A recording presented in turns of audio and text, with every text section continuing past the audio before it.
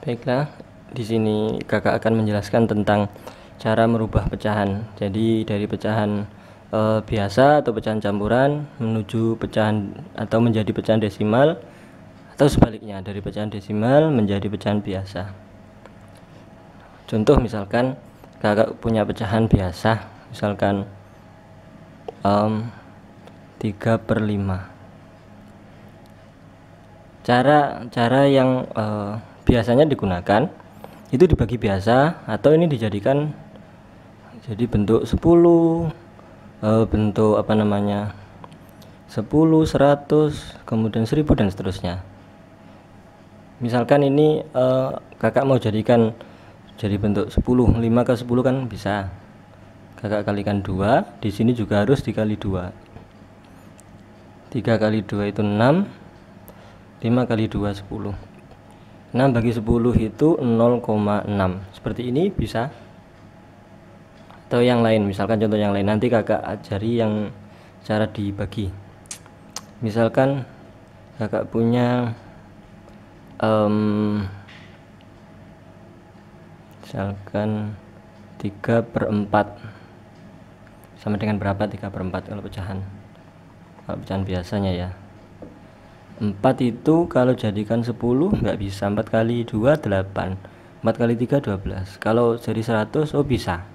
Ternyata ini kali, kakak kalikan 25 ini kakak kalikan 25 juga harus sama.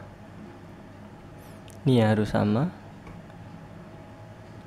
3 kali 25 itu 75 4 kali 25 itu 100 nolnya 2 berarti komanya 2 ini komanya 2 1 maksudnya ya, di belakang koma ada dua angka 0,75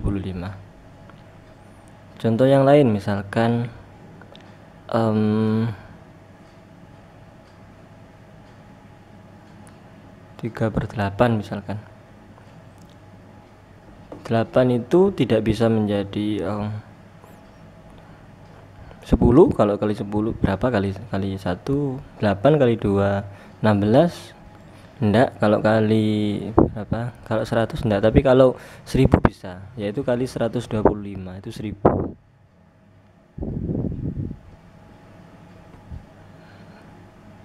8 kali 125 itu 1000 3 kali 125 5 kali 3 itu 15 min 1 2 kali 3 itu 6 6 tambah 1 7 1 kali 3 3 375 berarti sama dengan ada 3 itu 23 koma terus 0 seperti ini. Ini kalau pecahan biasa tapi kalau misalkan um, bilangannya itu tidak bisa dijadikan untuk yang puluhan ya misalkan pernya per 6 eh, misalkan. 5 per 6 6 itu kalau kali berapa sampai uh, 110 1000 berapapun tidak bisa. Jadi ini harus dibagi biasa. Dibagi biasa. Ini juga bisa kita bagi biasa kok aslinya. Contoh misalkan 3 per 5 3 per 5 itu sama dengan seperti ini. Seperti ini. Oke ya.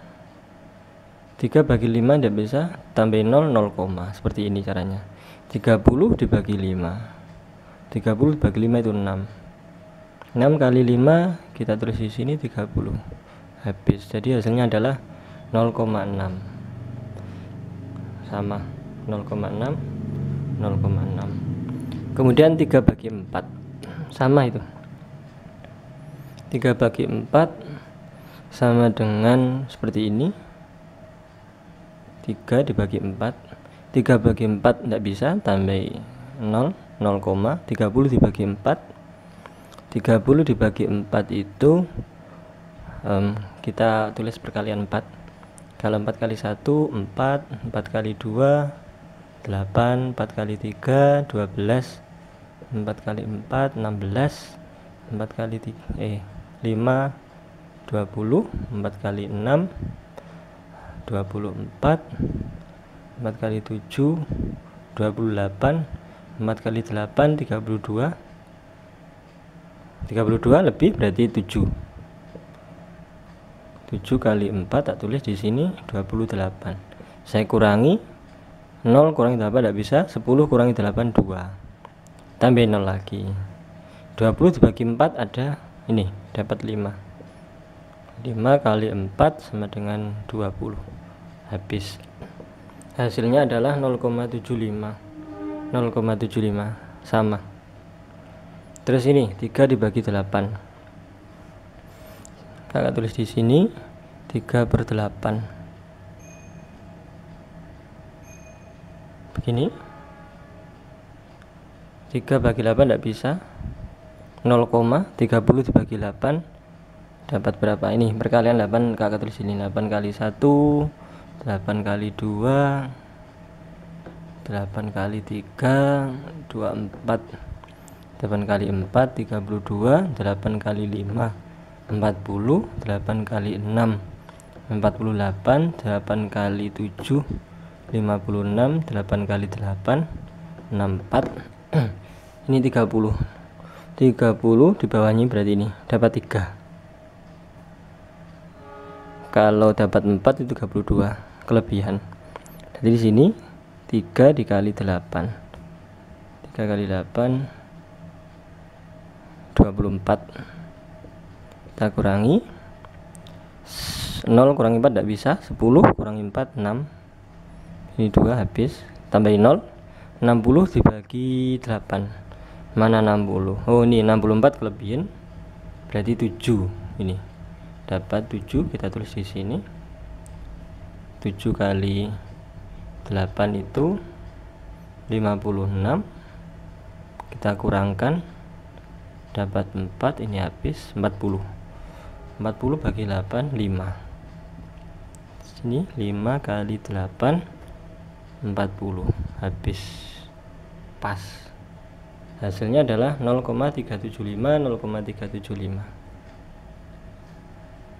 ya untuk yang 5,6 gimana? Oh ini dulu. Habis ini saya lanjutkan untuk yang 5,6 ini difahami dulu. Nanti saya lanjutkan habis ini